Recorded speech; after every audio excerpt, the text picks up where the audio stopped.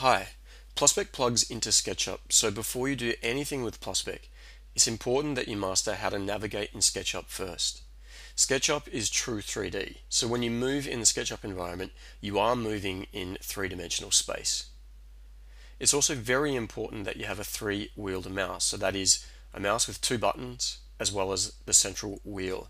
And if you don't, and you have, for example, the out-of-the-box Mac mouse type, then you are definitely going to need to replace it.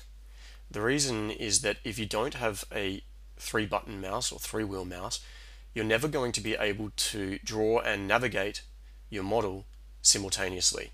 And this is essential to the Plusspec workflow. Keep your eye on the image of my mouse on screen. I'm going to show you how to orbit first because you're going to need to do this very often. Simply hold down the wheel your mouse and you can see that mine has turned green. Now you can simply rotate your mouse and get used to it. The directions will change. You can go obviously to the side, up and down. And if you want to reposition yourself, let go and redo it again. So you're going to be constantly uh, orbiting, letting go, and then reorbiting again to enable yourself to seamlessly uh, maneuver through your model. The next thing that I'm going to show you is how to zoom in and out. And to zoom in, you're simply going to push upward on your wheel and you can see it on the image of my mouse as well as the arrow pointing upward which shows that you're zooming in. If I zoom outward, you just do the opposite. So you're going to be doing all of these th uh, three things simultaneously to navigate and truly understand your design. Although you can design in true 2D orthogonal plan view with Plusspec when you generate our scenes, the majority of our users will eventually end up modeling predominantly in the 3D environment. And that's because obviously you get complete control over your design. You understand it in three dimensional form as you're doing it, and it's very powerful. And the SketchUp environment helps you understand where you are in the space by having the three axes, the blue, the green, and the red.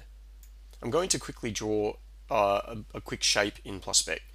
So with Plusspec, you only need to worry about the red and the green axes. Uh, we're going to do the blue for you. The reason why you want to be able to draw and navigate at the same time is that there's going to be certain times where you just need to change your angle to be able to better draw. And so having the ability to be drawing whilst orbiting is extremely important. You can constantly realign yourself to understand your design.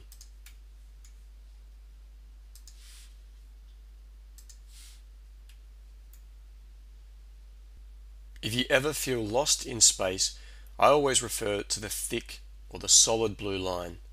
And because I know that is pointing up, anything below it is down. So if I'm down and I want to get up, just simply navigate and rotate and now I can see that uh, I have better aligned to top view. If you get super lost or you can't zoom in and you're so far out, you can also click on the zoom extents and that will zoom into what you've got in your drawing. Aside from rotating and zooming in and out, you can also use the pan tool and you can set up a shortcut for this. Finally, you can also use the SketchUp camera tools, so going into the standard views and you can align yourself quickly uh, in any of those ways. So for example, going back to top mode. Navigating in SketchUp looks easy, but the quicker you get good at it, the quicker you're going to become very proficient at using Plusspec.